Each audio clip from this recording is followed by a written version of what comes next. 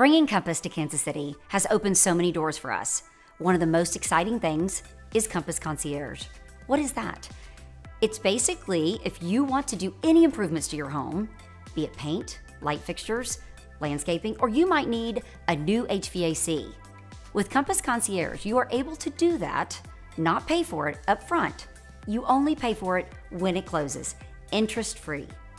Such an exciting time for homeowners that want to get maximum dollar for their home, but they don't have the money on the front end to do some of these improvements. We are so excited about this program, and this is why we are so excited to be a part of Compass.